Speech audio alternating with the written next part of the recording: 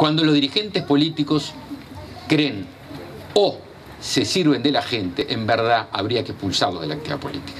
La actividad política es una actividad de servicio. Venir a servir.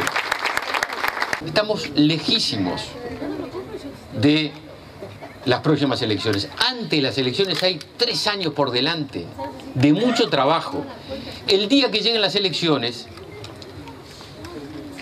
cosecharemos la confianza que hayamos sembrado en estos tres años.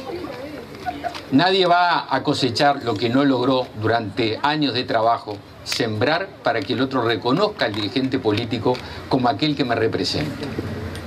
Por eso en el día a día, pensar en las cosas que tenemos que hacer, como dijo José Andrés recién, mañana, pasado mañana, en estas hermosas charlas al descampado con Arocena que se inauguran el próximo, el próximo sábado. Con, mucha, con mucho trabajo, con mucha dignidad, con mucha propuesta. Cuando llegaba una señora me decía, yo voté a Andrés como intendente. Yo le decía por abajo, ¿y quién le diga que no vote a José Andrés como intendente también, no?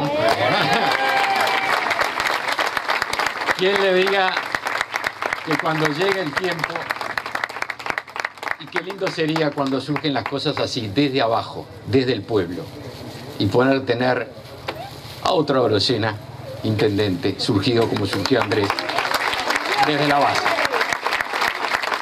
Pero ya llegará, antes, antes tenemos muchas cosas para, para hacer.